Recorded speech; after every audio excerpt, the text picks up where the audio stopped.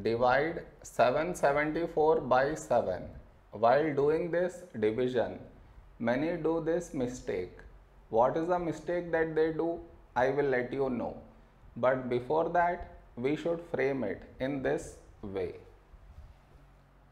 774 and 7 here. This is your step 1. Next, here we have 7 and here also 7. When do we get 7 in 7 table? 7 ones 7. Now you should subtract 7 minus 7 0. After this bring down the beside number. So 7 down. Now 7 when do we get 7 in 7 table? 7 ones 7. Now you should subtract 7 minus 7 0. After this bring down the beside number. So 4 down. After this step the mistake happens and the mistake is this.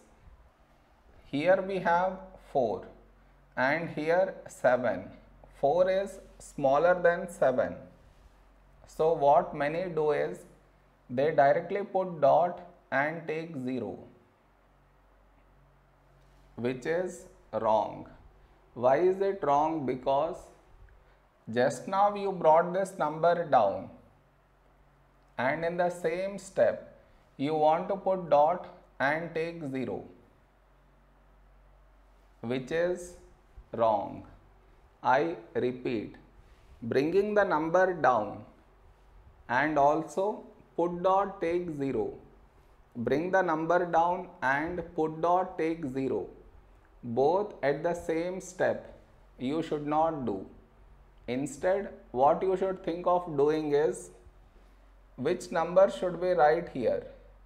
If I take 1 we will get 7 but 7 is larger than 4 so what we should do is we should take 0 so 7 into 0 0 now you should subtract 4 minus 0 4 over here we did not bring any number down.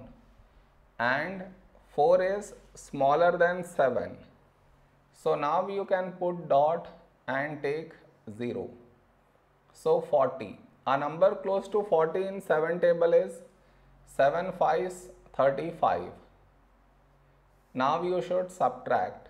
You get 5 and continue the division I am not doing that did you understand where the mistake happens? You should not do that mistake.